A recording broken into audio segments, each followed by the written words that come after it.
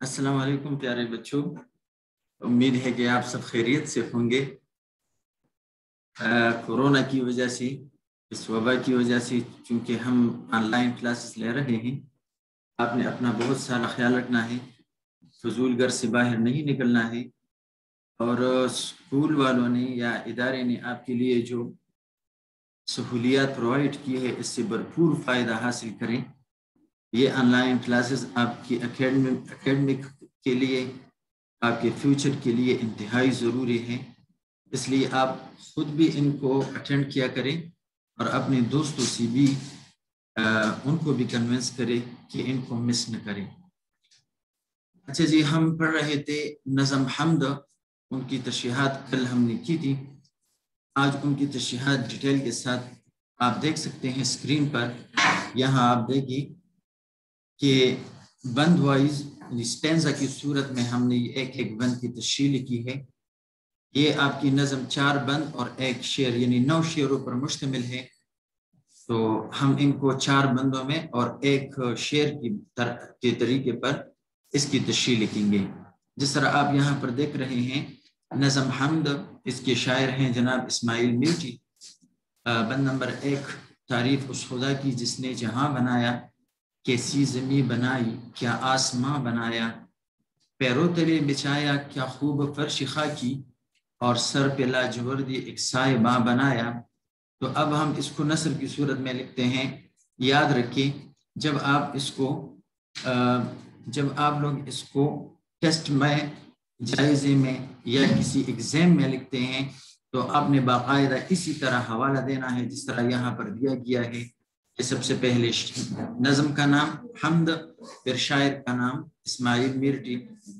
अच्छा जी, नसर में कहते हैं कि इस बंद में शायर कहते हैं कि सारी तारीफ़ और हमदसना है उस खुदा के लिए जिसने हमारे लिए बहुत ही प्यारी ज़मीन बनाई। हमारे लिए बहुत प्यारी ज़मीन बनाई कैसी ज़मीन कि जिस पर हम चलते फिरते हैं, मकानात बनाते हैं और खेत बनाकर इससे गल्ला उगाते हैं। और सरों के ऊपर, छत की सूरत में नीला आसमां बनाया, जिसे चाँद तारों और सूरज से खूबसूरत बनाया अल्लाह तबारक व ने। फिर ये बंद नंबर एक की तशरी हो गई। ये यहाँ पर बंद नंबर दो आप देख रहे हैं। कि मिट्टी से बेले बूटे क्या खुशनुमा उगाए, पहना के सब्ज खिलात उनको जवा बनाया खुश रंग और खुशबू गुलपूल है उगाए, इस खाक के खंडर को क्या गुलिस्तान बनाया। तो ये याद रहे कि अगर फिर फ़र्ज़ करे टेस्ट में या पेपर में अगर ये आ जाए तो उसी तरह आपने इसकी, इसके साथ भी हवाला लिखना है। नज़म का नाम, हम का नज़म का नाम और शायर का नाम। अच्छा जी स्टेंजा नंबर दो यानी बंद नंबर दो की तशी हाजिर खिदमत है, वो ये है कि इस बंद में शायर कहते हैं कि अल्लाह ताला ने इस मिट्टी से बहुत ही खूबसूरत छोटे बड़े पौधे पैदा फरमाए हैं और इन पौधों को हरा भरा और सब्ज लिबास पहनाकर इनको जवान यानी हरा भरा बनाया।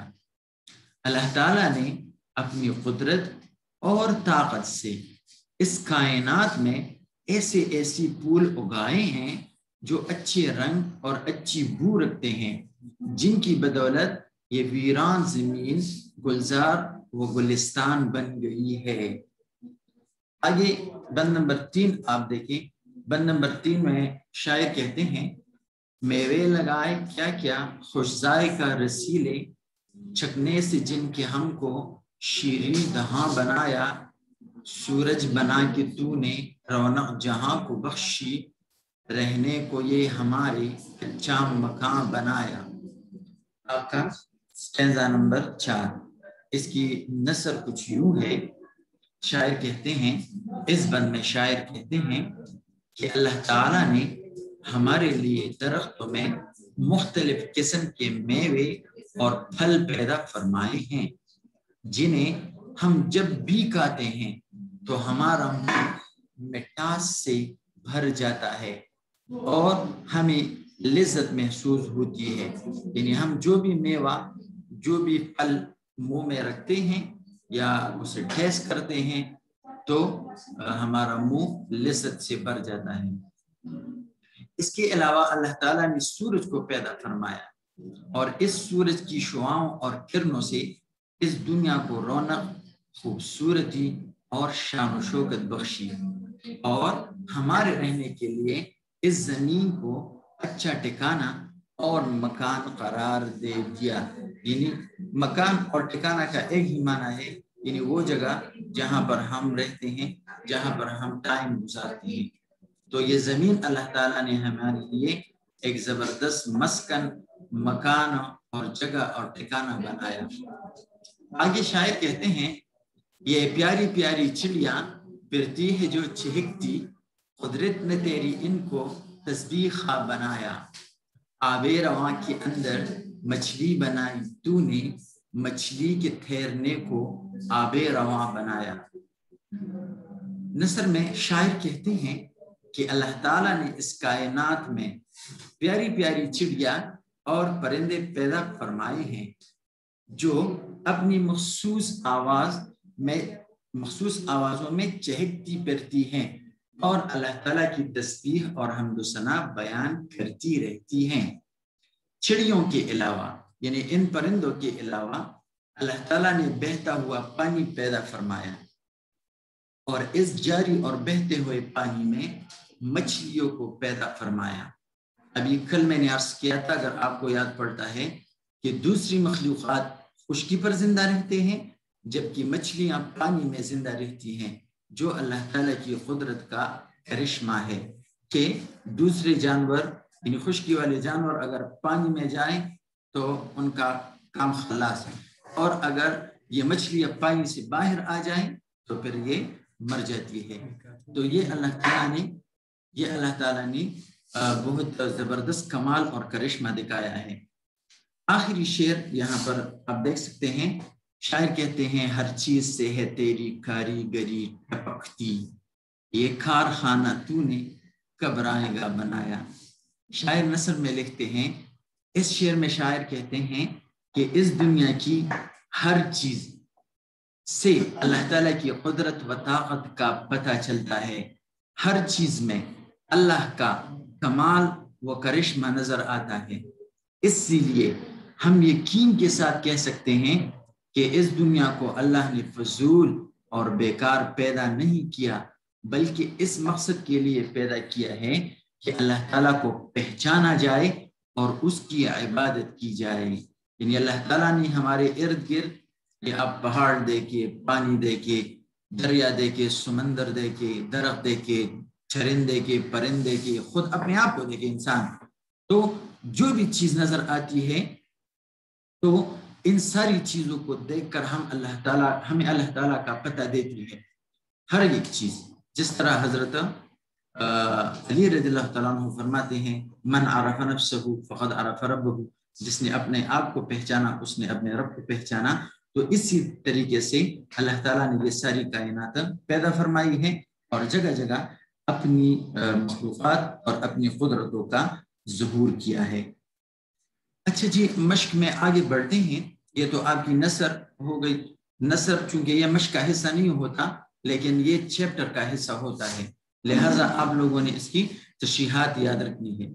आगे सवाल नंबर टू है कि अल्फाज और मानी। अल्फाज मानी, अगर आप, कल आप सुन रहे थे, आपने तवज्जो दी होगी तो कल आप लोगों ने ये सारी मीनिंग याद किए होंगे। अल्फाज है, सबसे पहला लफ्ज है हमारे पास, लाजवर्दी। लाजवर्दी का माना है नीले रंग का, या सिंपल हम कहते हैं नीला, जिस तरह लाजवर्दी आसमां तो नीला आसमान उसके बाद दूसरा वर्ड है खंडर। खंडर का माना है वीरान, गैर आबाद जगह। जहाँ पर कोई आबादी न हो तो ये खंडर, ये आबादी का अपोजिट आ सकता है। अगला लफ्ज है हमारे पास शीरीन दहा।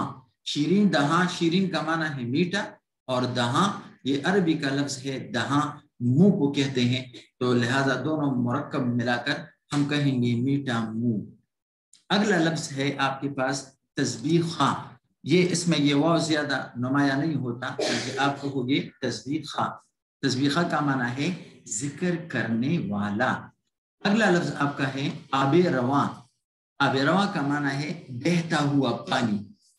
और उसके बाद है लफ्ज रायगा। रायगा जिस तरह अभी अभी गुजरा रायगा का माना है बेकार और फजूल। ये आपके मश्क में शामिल है, लेकिन मश्क के अलावा भी मैंने दो तीन अल्फाज आपके लिए चूज़ किए हैं, जिसकी मीनिंग आगे हैं। एक लफ्ज है साहिबा साहिबा का माना है छत, जिस तरह कल वाले सबक में ये गुजरा है। इसके अलावा खुश जायका खुश जायका का माना है लजीज, यानी जिसकी टेस्ट अच्छी हो। और आखिरी लफ्ज जो अल्फाज मीनिंग में हमारे पास है, वो है खिलत खिलत का माना है लिबास। शायर कहते हैं कि अल्लाह ताला ने इन पौधों को सब्ज खिलत पहनाकर, यानी हरा भरा लिबास पहनाकर इनको खूबसूरत बनाया। हमारा हमारे पास सवाल नंबर थ्री है अल्फाज जुमले। अल्फाज जुमलों में हमने जो पहला लफ्ज लिया है वह है खुश जायका। तो हम सिंपल सा जुमला बनाते हैं। इसके अलावा आप दूसरे जुमले भी बना सकते हैं, खुद से भी जुमले बना सकते हैं। यहाँ पर सिंपल जुमला एग्ज़ाम्पल के लिए मैंने आपके सामने रखा है कि आम एक खुशजाए का पल है। आम एक खुशजाए का पल है। इसके अलावा आप कोई भी फल इस्तेमाल कर सकते हैं सेब एक खुशजाए का पल है। या इसके अलावा भी, यानी इस जुमले से हट कर भी आप जुमला बना सकते हैं। कि मेरी अम्मी या मेरी मामा खुशजायका सालन वगैरह तैयार कर सकती है अगला लफ्ज है हमारे पास रौनक बख्शी रौनक बख्शी की मानी है शान शोकत आना शान शोकत दे देना तो हम सिंपल जुमला कहते हैं कि आपने तक यहाँ पर हमारे यहाँ तकरीबात होती रहती है ना तो उसमें हम जब मेहमानी खसूसी का शुक्रिया अदा करते हैं तो हम कहते हैं मेहमानी खसूसी ने तकरीब को रौनक बख्शी इसके अलावा भी आप कि सूरज के किरणों के ज़रिए अल्लाह ताला ने कायनात को रौनक बख्शी या आप कह सकते हैं कि मेरी मेरे अबू जान मेरे कमरे में आकर मेरे कमरे को रौनक बख्शी इस तरह बेशुमार जुमले आप बना सकते हैं अगला लफ्ज हमारे पास है तस्बीखा तस्बीखा सिंपल जुमला सारी मखलूक अल्लाह ताला की तस्बीखा हैं आप इसके अलावा भी कोई जुमला बना सकते हैं हमें हमें अल्लाह ताला का तस्बीखा होना चाहिए, या सारे परिंदे अल्लाह ताला की तस्बीखा हैं वगैरह वगैरह, सारे फरिश्ते अल्लाह ताला की तस्बीखा है। द लास्ट वन वर्ड हमारे पास है, रायगा। रायगा माना है फजूल या बेकार। तो हमने सिंपल लिखा है कि नेकी कभी रायगा नहीं जाती। बिल्कुल यही जुमला आप मेहनत के लिए भी इस्तेमाल करते हैं कि मेहनत कभी रायगा नहीं जाती। जो बंदा मेहनत करता है, अल्लाह ताला ज़रूर भी ज़रूर उनको जजा देता है। अल्लाह ताला उनको मंजिल अपने काम में, अपने इम्तिहान में कामयाब करता है। अच्छा जी, आगे हम बढ़ते हैं सवाल नंबर फोर। सवाल नंबर चार हमारे पास है काफिया की तारीफ़ करें और मिसालें दें। ये सवाल जो अभी आप मुलाहजा कर रहे हैं, ये सवाल आपके किताब, आपकी किताब में भी मौजूद है फिर भी यहाँ पर हमने आसान भाषा में आसान अल्फाज में इसकी तारीफ़ लिखी है। काफिया फ़र्ज़ करे पेपर में टेस्ट में आ जाए वैसे ही आपसे कोई पूछे काफिया किसे कहते हैं तो आपका जवाब होना चाहिए कि शेर में रदीफ से पहले आने वाले हम आवाज़ अल्फाज को काफिया कह, कहते हैं। दोबारा सुने शेर में रदीफ से पहले आने वाले हम आवाज़ अल्फाज को काफिया कहते हैं। अब आप नीचे ये मिसालें देखें ना तो मिसालों में आप बिल खुद बहुत आप पर वाज हो जाएगा कि इसका मतलब क्या है? यानी हम आवाज़ क्या माना? तो हम आवाज़ का ये मतलब है कि वज़न और आखिरी हर्फ के लिहाज से जो अल्फाज एक जैसे होंगे, यानी जिनकी आवाज़ एक जैसी बरामद होगी तो ऐसे अल्फाज को हम खाफिया कहते हैं। जैसे यहाँ पर हमने आपके लिए पाँच मिसालें तैयार कर रखी है। जैसे आप देखिए, शरीफ ज़ीफ हरीफ तो आप देखिए, तीन अल्फाजों की एंड एक तो इनका वज़न एक जैसा है। और अहम बात जो है, इनकी आखिर में जो आवाज़ बरामद होती है, यानी फा वाली आवाज़ तो ये एक जैसी है। जैसे शरीफ ज़यीफ हरीफ, ठीक है जी? अब आगे आप देखिए दूसरा जोड़ा, खाक, पाक, चाक, वगैरह वगैरह। इससे आप 2000 अल्फाज खुद से बना सकते हैं। अच्छा जी, अगला जोड़ा जो हमारे पास है, चाँद, मान, बाँध, वगैरह वगैरह। इसके अलावा मजबूर, माजूर, मगफूर, वगैरह। ज़मीन, मकीन, जबीन, वगैरह वगैरह। ठीक है जी तो इस, आप इनके अलावा भी कोई भी लफ्ज उठाकर कोई भी लफ्ज उठाकर आप उससे मुख्तलिफ़ काफिया काफिया जैसे अल्फाज बना सकते हैं ताकि कहते नज़म में पाए जाने वाले हम आवाज़ हम काफिया कहलाते हैं। ये बामानी होते कि बेमानी? अच्छा जी यहाँ पर दो बच्चों ने बहुत ज़बरदस्त सवाल पूछे हैं। एक मोहम्मद सुदैस ज़बरदस्त कहते हैं कि नमाज़ में सॉरी नजम में पाए जाने वाले हम आवाज़ अल्फाज को काफिया कहते हैं बिल्कुल तो अल्लाह के बंदे जिस तरह मैंने अर्ज़ किया ना शेर तो शेर शेर जो है ये तो नजम से बाहर नहीं आता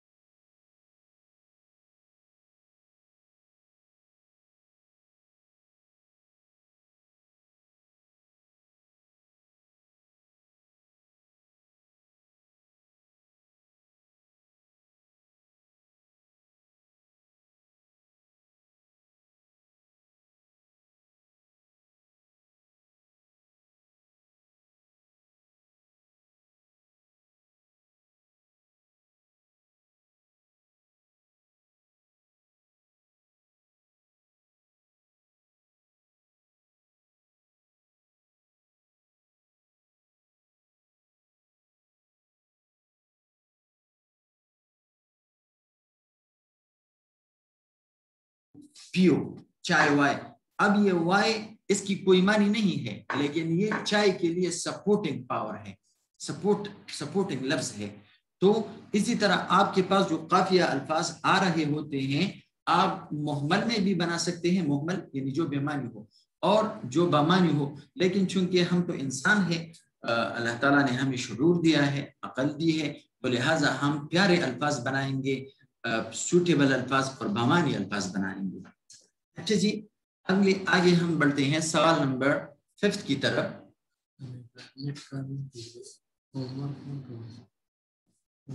तो किस तरह देंगे? वीडियो नेट कारण डिस्कनेक्ट के दो आज के लिए बस इतना ही काफ़ी है। ये क्वेश्चन नंबर कल कर लेंगे।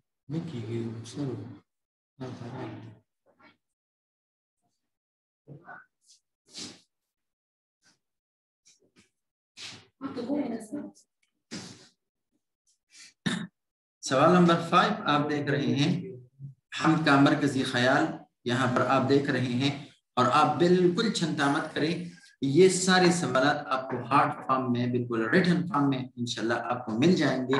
तो ये तो सिर्फ़ मैं इसलिए पढ़ रहा हूँ, इसलिए आपके साथ शेयर कर रहा हूँ ताकि कोई लफ्ज आप गलत न सीखे या गलत प्रोनाउंस न करें। तो बाकी ये सारी चीज़ें जिस तरह आप बोर्ड ये सॉरी स्क्रीन पर देख रहे हैं, बिल्कुल इसी तरह ये आपके पास पहुँच जाएँगे। उसके बाद आप ये आसानी के साथ पढ़ सकोगे, आसानी के साथ याद कर सकोगे। यहाँ पर हमारे पास मरकजी ख्याल है। आप देखा, आपने देखा, इंशाल्लाह आपको मिल जाएगा, फिर आप पढ़ सकेंगे। आखिरी सवाल जो है यहाँ पर रोज़मर्रा। तो ये रोज़मर्रा, आप देखिए, रोज़मर्रा से मुराद अल्फाज का वो मजमु है जो अहल ज़ुबान हकीकी मानों में अपने असलोब और अंदाज के मुताबिक इस्तेमाल करते हैं। मसलन ये जुमला ऐसा है, मैंने लाहौर जाना है। ठीक है जी? ये जुमला ऐसा है, मैंने लाहौर जाना है। लेकिन अहल ज़ुबान ये इस तरह इस्तेमाल नहीं करते, बल्कि वो कहते हैं, मुझे लाहौर जाना है। ठीक है जी। अच्छा जी होमवर्क अपने साथ साथ आप नोट करते जाएँ। आपने रोज़मर्रा की तारीफ़ और मिसालें याद करनी है। इसके साथ हम का मरकजी ख्याल याद करना है और आ, हम काफिया अल्फाज और इसकी मिसाल याद करनी है। ठीक है जी आगे एक सवाल है यहाँ पर। ये सवाल आप जो स्क्रीन पर देख रहे हैं इनशाला आपके पास जो रिटर्न फॉर्म में टेस्ट आएगा ये सवाल उसमें शामिल होगा तो ये आप थोड़ा सा सुनिए, सिर्फ़ और से। ये जो रोज़मर्रा की मिसालें हैं, ये रोज़मर्रा की मिसालें हैं, आपने इन्हें ठीक करके लिखना है। हम आमतौर पर लड़की ने दुपट्टा पहना, अभी ये दुपट्टा के साथ पहना लफ्ज आमतौर पर इस्तेमाल कोई करता है, कोई नहीं, लेकिन अहले ज़ुबान ये नहीं इस्तेमाल करते। बल्कि अहले ज़ुबान कहते हैं, लड़की ने दुपट्टा ओढ़ा, अलिफ वाड़े है, अलिफ हाँ ओढ़ा। बिल्कुल इसी तरह वज़ू से पहले मैंने मिसवाक फेरी। अभी आमतौर पर तो मिसवाक फेरा जाता है, फेरी जाती है ना? लेकिन यहाँ पर अहले ज़ुबान जो, वो फेरना इस्तेमाल नहीं करते, बल्कि वो कहते हैं, मैंने, मैं वज़ू से पहले मैंने मिसवाक की। बिल्कुल इसी तरह ना वक्त का ना नकाओ अभी ना वक्त या बे वक्त दोनों का एक ही माना है। लेकिन अहल ज़ुबान इस तरह इस्तेमाल नहीं करते, बल्कि अहल ज़ुबान कहते हैं बे वक्त काना नकाओ अगला, अगली मिसाल जो है, फौज ने नहर के किनारे डेरा डाल दिया। हम आमतौर पर यही कहेंगे, लेकिन याद रखिए कि अहल ज़ुबान हज़रत इस तरह नहीं कहते, बल्कि वो कहते हैं, फौज ने नहर किनारे डारा, डेरा डाल दिया। इसमें ये लफ्ज की, यानी हर हर इजाफत नहीं आएगा। And the last one sentence ये है मेरी चश्म में दर्द है। अभी ये लफ्ज चश्म जो है ये अरबी का लफ्ज है और यहाँ पर ये अहल ज़ुबान आमतौर पर इस्तेमाल नहीं करते तो हम कहेंगे मेरी आँख में दर्द है। जुमला होगा मेरी आँख में दर्द है।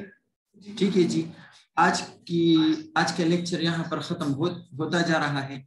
आ, लेकिन होमवर्क एक दफ़ा मैं फिर दोहराऊं। कि आपने रोज़मर्रा की तारीफ़ और मिसाल याद करनी है हम का हम का मरकजी ख्याल याद करना है और हम काफिया की तारीफ़ और इसकी मिसाल याद करनी है।